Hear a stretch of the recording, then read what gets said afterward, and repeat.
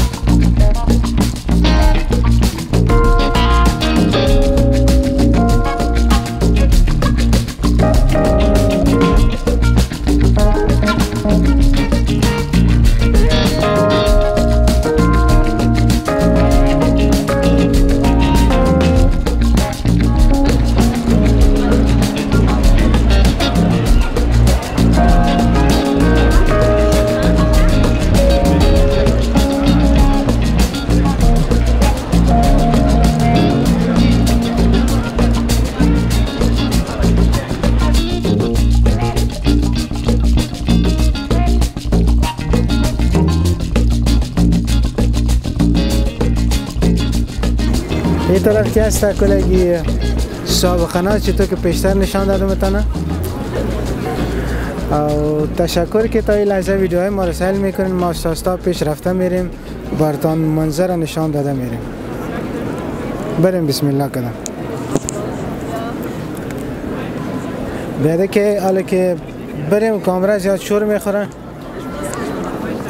ای خود نشان میده که ما بیرق هسته و هستاش تا بین پیشت من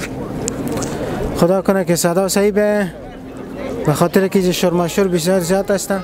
خب اینی که هست ای اسپای است اسپای تیلاییشان هستن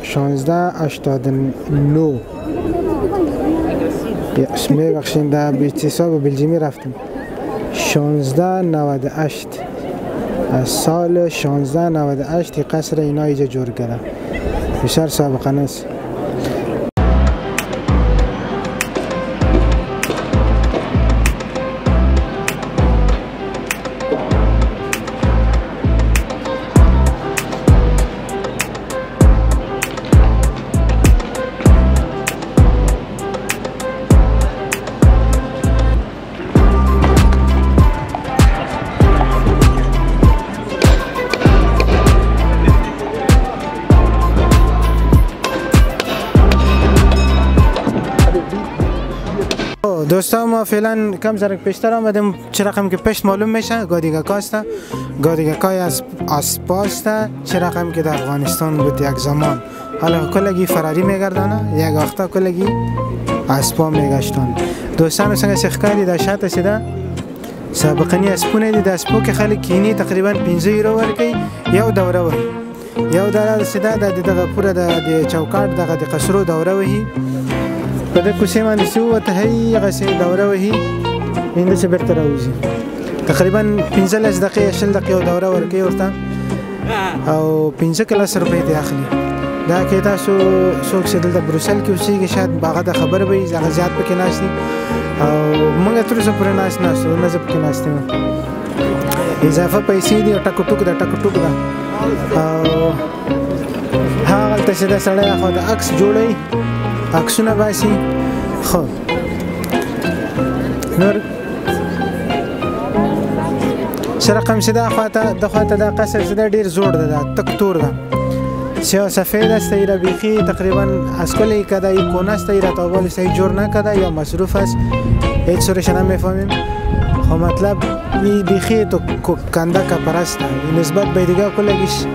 جور است او فکر میکنم اینجا طلا استفاده کردم